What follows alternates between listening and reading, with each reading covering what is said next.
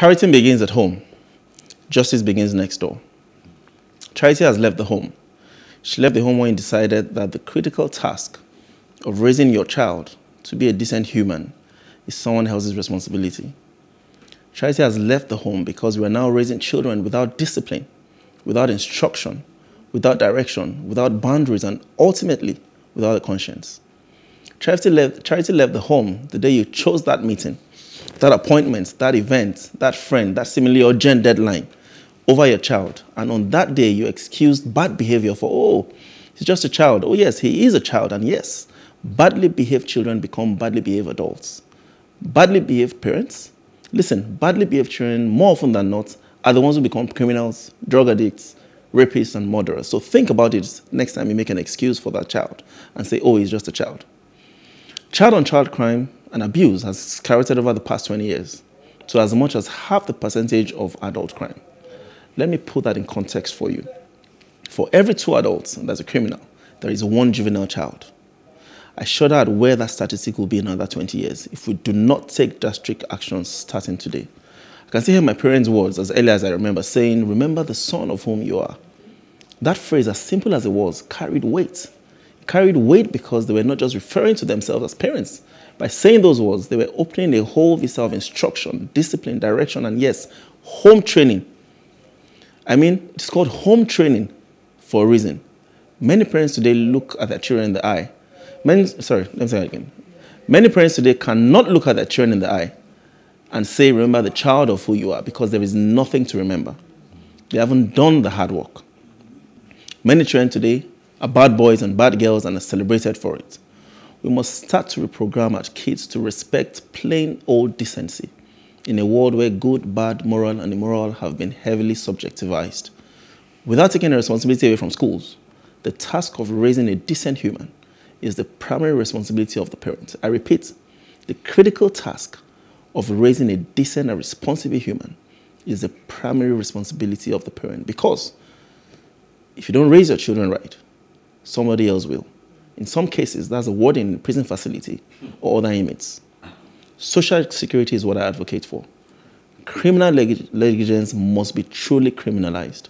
Parents must be held fully responsible for neglecting their roles. And let's bring charity back home.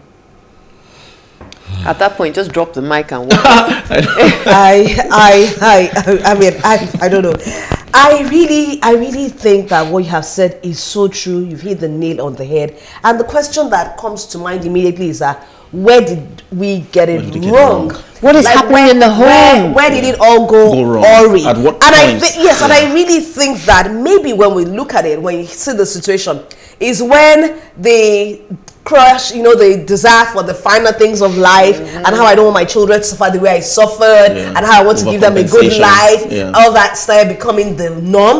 But because when you talk to some parents and you're trying to tell them that oh, this doesn't make sense or this shouldn't have done. I look at you like, what are you talking about? I remember, you know, I mean, there was a time when I was in love etiquette classes. And at some point, when every time we say go, we always get that sense of, oh, really? Hey, eh, do they really need it? Okay, maybe they need to learn how to use their fork and knife. And I'm thinking, do you think that etiquette about fork and knife alone? Really, we're talking about behavior, social yeah. skills. And so, do we, the parents even think it's that important? Yeah. So let me so let me let me tell you something. So I left Nigeria at six years old. I went to boarding school at the age of six to the age of 18.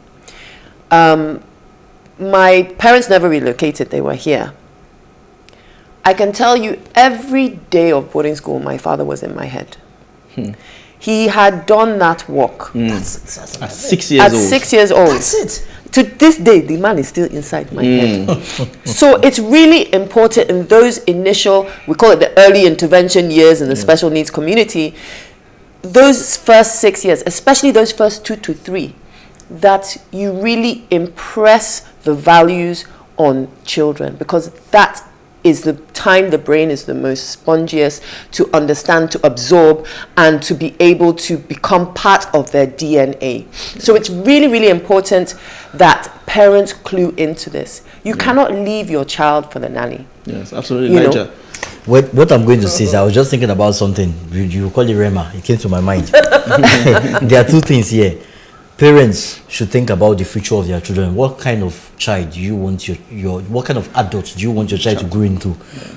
If you go to the uh, if you go to America, George Bush, George H. W. Bush bettered George W. Bush. Do you know the amount of work he impacted in the life of his children? That he had one of his son a governor and a president, another one a governor, right? Yeah, senator. Yeah. Do you think it was just because he was a president that's why they became president? No, that was intentional parenting. And then the other aspect from of uh, uh, away from parents in the school. Those that go into education, I want to be a teacher. Many a time they don't go for the glory of teaching and impacting life. They go because of oh that's the work available. I just want to do it. I don't care. My own is just to collect my money and leave. Anything they ask me to do, I don't do. We need So Helen to talk. You've hit stuff. you've hit an issue, and I know Yeah. Helen will be Helen. sitting there wanting to say something particular on this point. Helen, yes. In fact, I think I love all of you. That's what I'm saying. Because We love you're you all too. talking- You're all speaking my language. You know, I think it, it's really, really, really. Um, I'm always one for charity begins at home, and I and I concur with Tonye because I also went to school in the UK, and every time I wanted to make a wrong move, I would just remember my father. My father would tell me that he would kill me first before I, I would disgrace his family. That was his words. Do you understand? So I sit down in my quiet moment and I'm thinking, the parents of these young boys who have now been identified as the suspects of killing this young man, what would those parents be going through? You see, it's a tragedy all round. Yeah, It's a tragedy all round. absolutely. And I'm very, very sure that if you look at it holistically, we have to mourn for both parties. Yeah. Sylvester's parents have lost a child, and five to six other parents are more or less going to lose their children as well. But it's a very bad time. in Helen, Tol- Nigeria. Tolu hit on something towards the end of his intro, which kind of hinted at, do you prosecute the parents? Like I kind of got that Yes. thing in terms of this the the ramifications Yes, for the I mean, like social security abroad. You know? I mean, if you're a badly behaved parent, they take your children from you.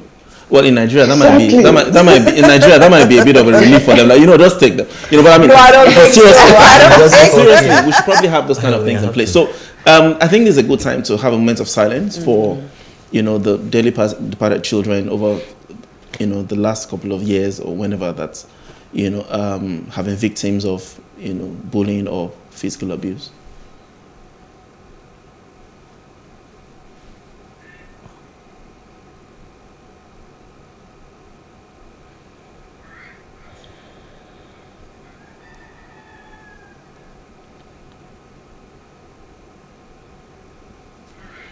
And may their souls rest in perfect peace. Amen.